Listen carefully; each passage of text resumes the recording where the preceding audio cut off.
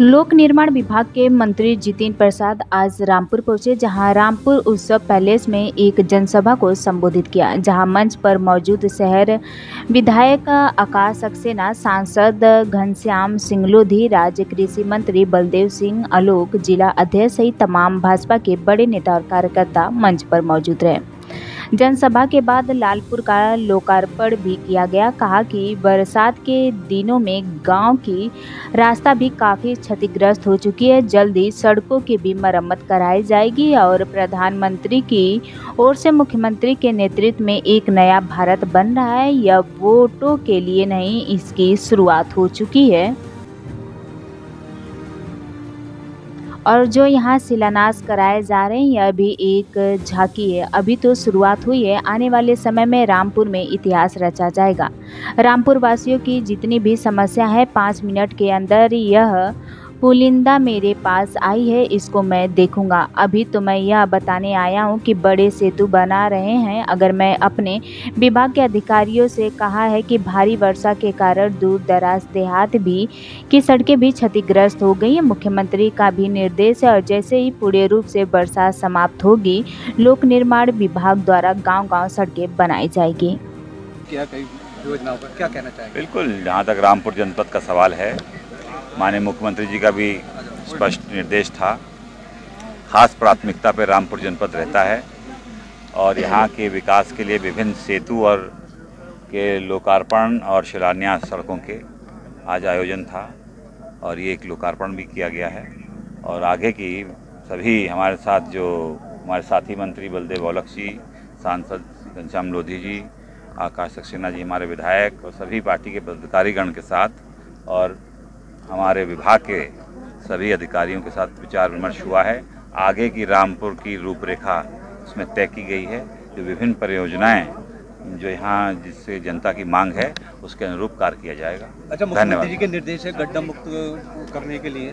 समय से तो अधिकारियों का इसमें क्या निर्देश बिल्कुल ये इसमें सर्वे पूरा करने के लिए पहले ही निर्देश दे दिए थे। जो सड़कें क्षतिग्रस्त हुई हैं बारिश की वजह से और जैसे ही वर्षा जैसे ख़त्म होने के आ गई है रात दिन होके अभियान चलाया जा रहा है और गड्ढा मुक्त किया जाएगा। सो जब ही सड़कों की मरम्मत की जाएगी बड़ी सड़कें हों या छोटी लोक निर्माण विभाग पूरा काम अच्छा आप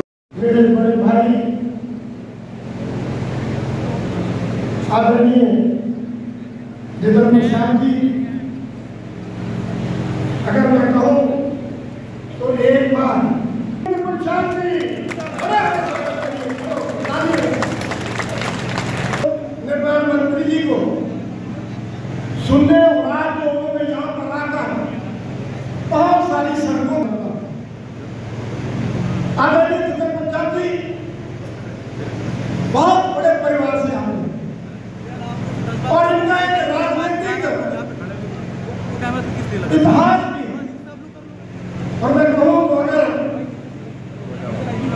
आपके स्वर्गीय पिताजी ने इस मैंने साहब इसका लोकार्पण कर दीजिए क्योंकि जब बरसात आ जाती थी जब ज़्यादा समय नहीं मिल पा रहा था। लेकिन आज समय उचित है। और उचित समय पर उचित मांग भी रखना बहुत ज़रूरी है। माननीय मंत्री जी ने, माननीय मुख्यमंत्री जी ने हमारे जनपद रामपुर को बहुत कुछ दिया है। उनका धन्यवाद करते हैं, साधुवाद करते हैं। लेकिन अभी हमारा पिछड़ा रामपुर है और पिछड़े रामपुर का भी बहुत बड़ी समस्या है।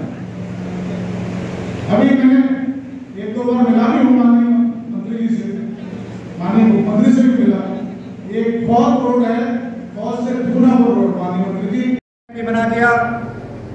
मगर अभी कार्य पूरा नहीं हुआ है, ये परिवर्तन को और आगे ले जाना है।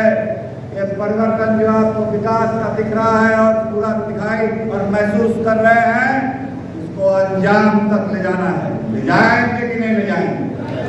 अरे ले जाएँगे कि नहीं ले जाएँगे तो ये मैं आज कहने आया हूँ, इस लोकार्पण के अवसर पर बहुत सी योजनाएँ यहाँ आपको दी जा रही जो सौगात, शिलान्यास की है, वो विभिन्न सेतु यहाँ के अधिकतर तो ही मिला ले गए हैं।